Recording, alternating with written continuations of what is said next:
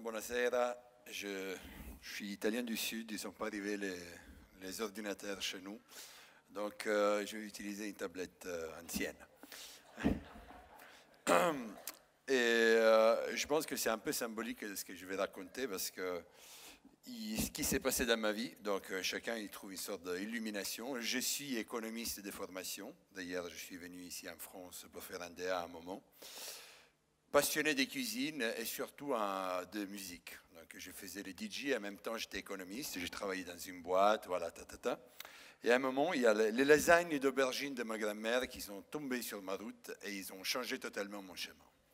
Et donc, euh, euh, voilà, à, quel point ça peut arriver les changements, le destin presque, voilà, je, travaillais sereinement. Et, à un moment, je me suis questionné sur une chose. Donc, j'habitais dans le sud d'Italie. À un moment, j'arrive dans des grandes villes, Rome, Paris. Et je me rendais compte que dans ces lieux fortement développés, avec beaucoup d'argent, les gens, ils n'avaient aucune notion des aubergines, des saisons d'aubergines. Donc moi, j'avais grandi dans un lieu où on n'avait pas beaucoup d'argent, il y avait beaucoup de mafia, et en même temps, il y avait la notion du temps. Parce que pour bien manger, on a besoin de temps. Si vous, avez, vous allez vite, vous mangez mal. Jusqu'à quand j'arrive en France et j'entends que dans les écoles, c'est interdit d'amener les gâteaux pour l'anniversaire, les gâteaux faits maison pour l'anniversaire de son petit? Ce que je trouve agaçant. En fait, on invite les enfants, on les éduque à manger mal. J'étais en train de dire un gros mot, je ne le dis pas. En fait, mais imaginez qu'est-ce que j'ai pensé en fait. Donc c'est pour ça. Et euh, voilà, donc je synthétise les systèmes économiques actuels bien synthétisés avant, parce que les gens ils vont vite, ils mangent mal, c'est n'importe quoi.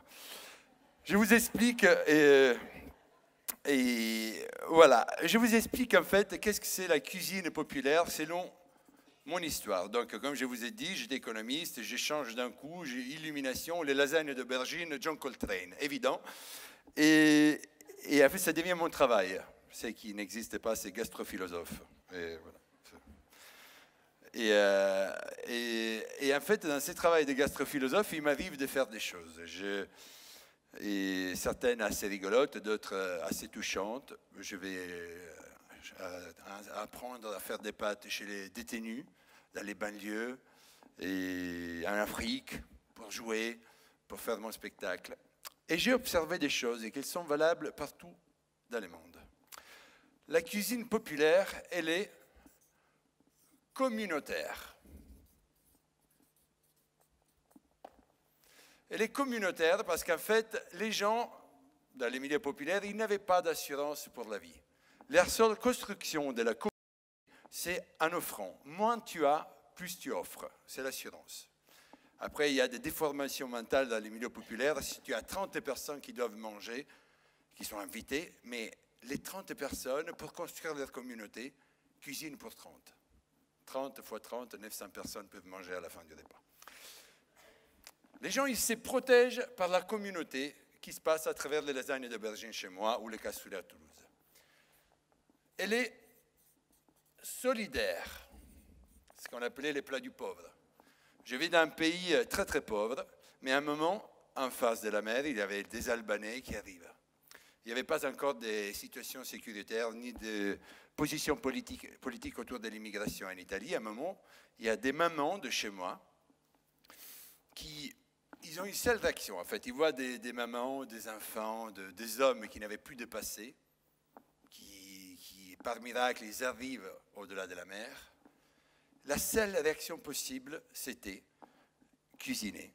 Et tu voyais ces dames qui descendaient vers les ports avec de lasagnes d'aubergine, de, imaginez des énormes cassoulets. En fait, ils auraient donné à manger à toute l'Albanie la, entière, en fait. La seule raison, c'est qu'ils ont regardé une fille, une petite fille, ils ont dit, mange d'abord, après, on verra. La cuisine populaire, elle est écologique. Ma grand-mère a fait les lasagnes d'aubergine qui est en août. Pas raison d'acheter des, des aubergines comme ça en décembre, des tomates en plastique qui viennent d'Hollande. Les tomates, elles ont besoin de chaleur. Donc, ce qu'on appelle maintenant la MAP, les AMAP, la filière courte, elle existe depuis toujours. Et c'est la raison pour laquelle on mange bien. La cuisine populaire, elle est libre. Il y a beaucoup d'interdictions, de plus en plus. Il y a cette histoire de, euh, gâteaux interdits. Il y a les Calvados qui, qui d'habitude, il fait 60-70 degrés, c'est interdit. Il faut faire 40. Mais des gens, ils défient la loi. Pourquoi? Parce que la seule raison, c'est protéger l'identité collective d'un pays. Et l'identité collective, ça passe à travers la tradition. Et donc, ils continuent à faire du bon calva. Et à propos de ça, ils protègent la tradition. Tout plat traditionnel, ça fait partie de leurs histoires. Et tu peux défier le monde entier. Tu peux aller face à toute mondialisation si tu as ça. Si tu as une tradition qui appartient à ton histoire. Après, il y, a beaucoup, euh, il y a beaucoup de choses autour de la tradition. La tradition, on l'imagine comme quelque chose de figé.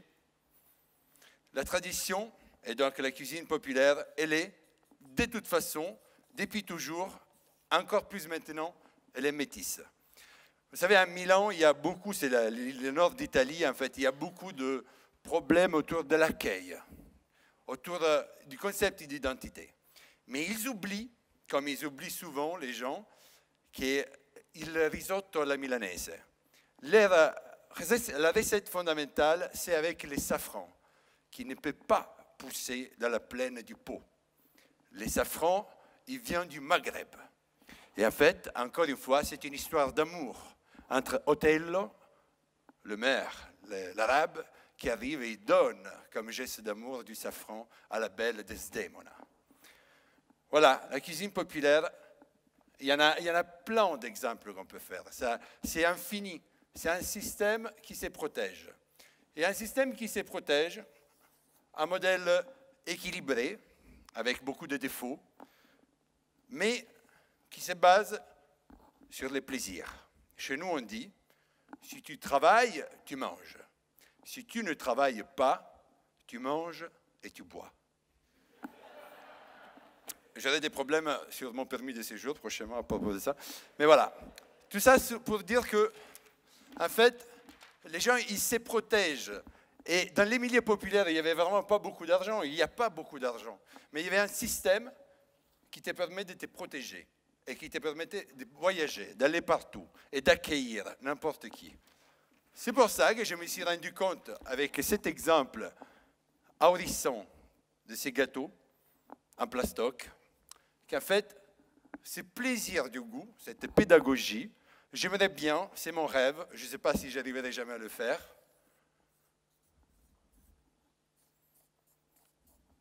c'est un projet qui s'appelle Kid, comme enfant,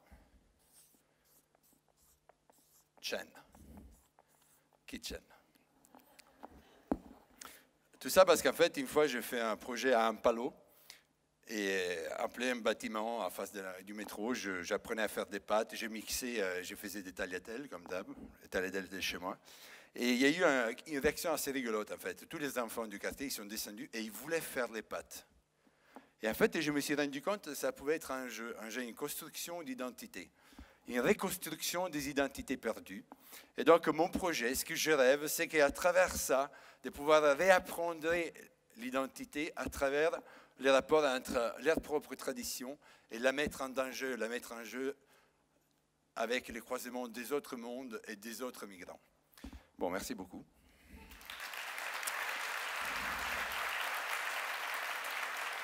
Merci à TEDx et merci à vous tous.